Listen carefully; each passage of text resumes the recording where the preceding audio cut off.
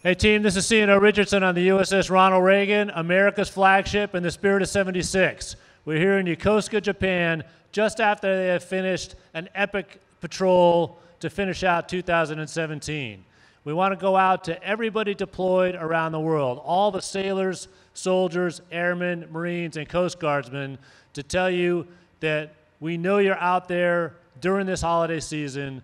We know you're in some dangerous places and we know you're doing everything you can to keep us safe so that we can spend holidays safe where we are. That's got our ultimate respect. So, from everybody here on Reagan, we just want to wish you a happy holidays. Let's hear it, team.